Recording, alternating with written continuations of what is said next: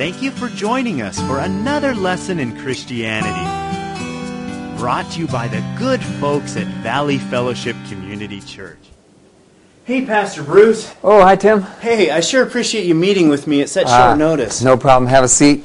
I actually have some spare time on my hands this afternoon. Oh, great. Because Mm-hmm. as I was studying my Bible last night, I came across something and I thought maybe you could explain it to Sure. me.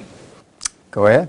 Well, in Luke chapter 22, verses 25 and 26, Jesus says, The kings of the Gentiles lord it over them, and those who have authority over them are called benefactors. But not so with you. But let him who is the greatest among you become as the youngest, and the leader as the servant.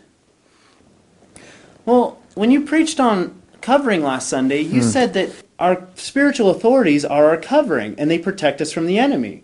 And they we remain under their covering as long as we obey them.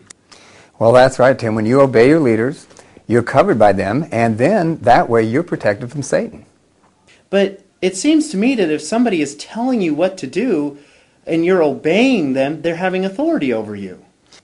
Well, of course, we have authority, uh, Tim. It's, it, we would be poor stewards of the lives God given, has given us to protect if we didn't exercise the authority that He has given us and trusted us with. Well, but Jesus said here, you're not to even have authority over them.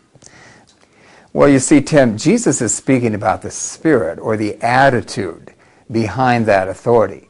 We need to exercise our authority to protect the sheep, but we don't lord it over them.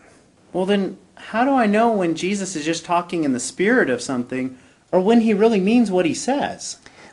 Well, Tim, see, that's why you have leaders. Your leaders have gone to Bible college training, and that way they have the education to be able to make the word clear to you. I really appreciate that, Pastor Bruce. You know, No problem. I, I've got to get going. In fact, hey, maybe you could help me out. Hmm? Um, I've, I've got to go pick up the guest speaker for the youth meeting tonight. Mm-hmm. Problem is, my car is a total disaster, but I don't have time to wash it. I have to go set up the table for the books and tapes to sell. Do you know of anybody who could help me out?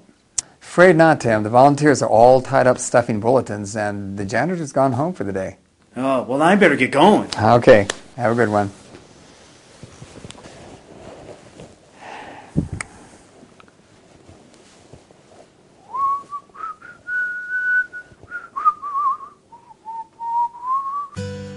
So concludes today's lesson in Christianity, brought to you by Valley Fellowship Community Church.